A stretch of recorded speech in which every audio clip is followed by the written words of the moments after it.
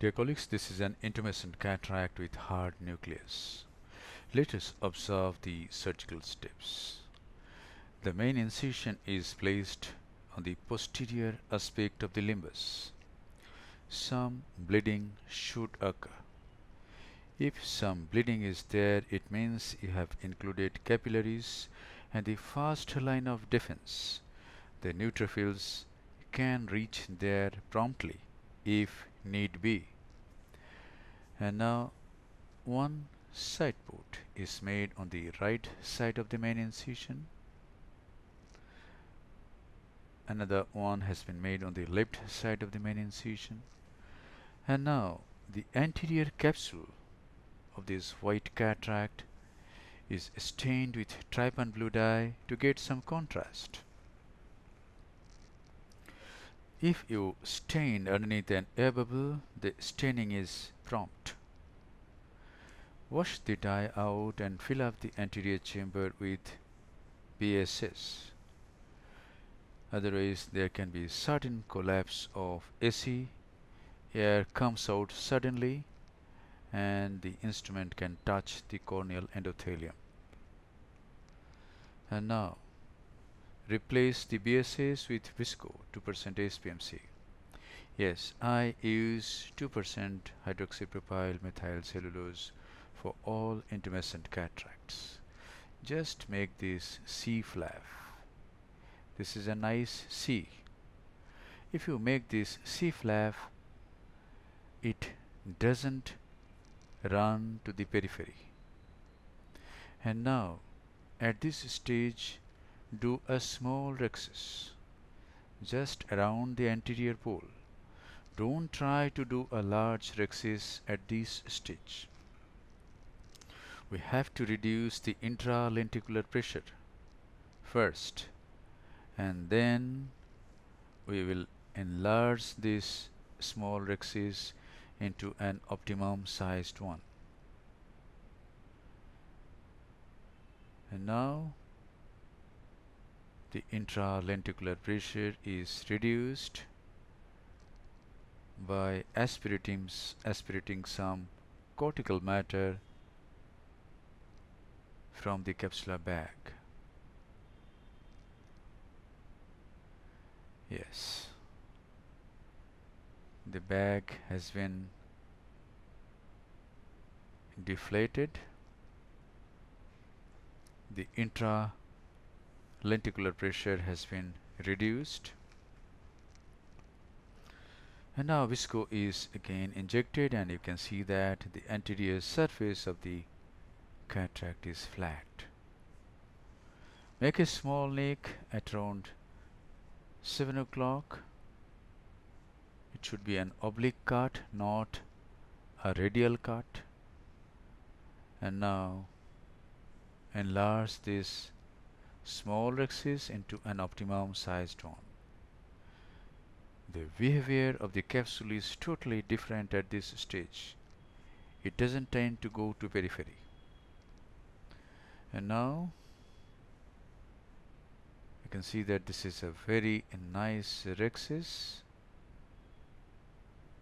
almost 5.25 or 5.5 millimeter almost uh, like a femtorhexis. If anyone, any one of you increase your surgical skill to a certain level, you don't need femtolaser. And now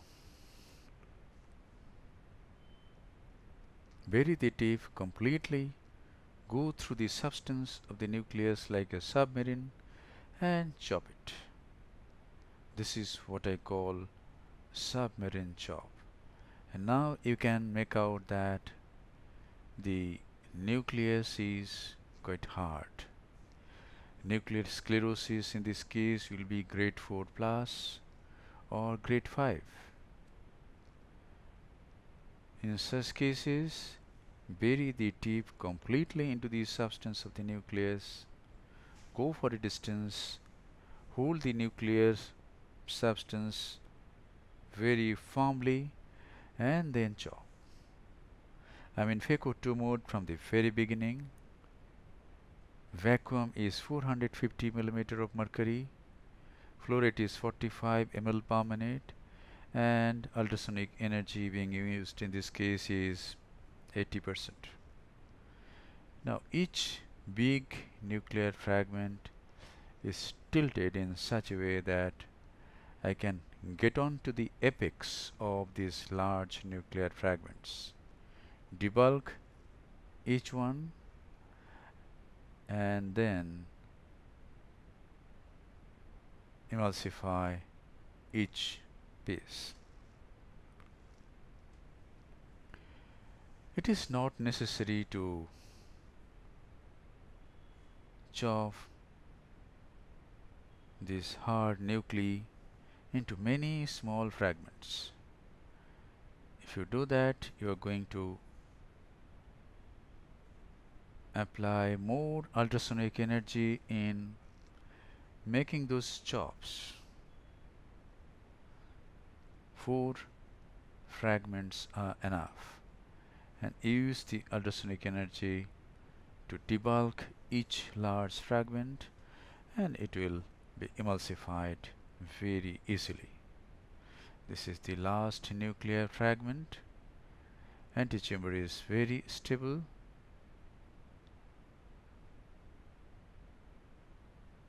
This small nuclear piece is being emulsified and the other piece comes out through the side port and then I come out. 2% HPMC is injected again to fill up the anterior chamber and the capsular bag. Here it is 2% methyl cellulose. And now you can use a coaxial IA or bimanual IA or this very simple but effective instrument a 23 gauge Simcoe cannula. Yes, you can use this in phacoemulsification. Any instrument that is efficient should be worshipped, not ridiculed. Simcoe is effective and we should worship this instrument. if your side port is little larger it goes through the side ports this 23 gauge Simcoe and you can remove the sub-incisional cortex very easily or you can remove most of the cortex through the main incision you can make small side ports and the sub-incisional cortex you can remove by bimanual irrigation aspiration. Now this is hydroimplantation. The antechamber is kept formed by irrigation and an intraocular lens is implanted in the capsular bag. In this case, this is a hydrophobic acrylic single piece monofocal intraocular lens it has gone into the capsular bag. The haptics have taken shelter at the equatorial region of the capsular bag. Some moxie has been injected and now the side ports are hydrated. The corneal stroma on either side of these side ports are hydrated and these side ports become watertight. Finally, AC lavage is done so that any particle is removed and only pure BSS remains in the anterior chamber. Antechamber is formed nicely.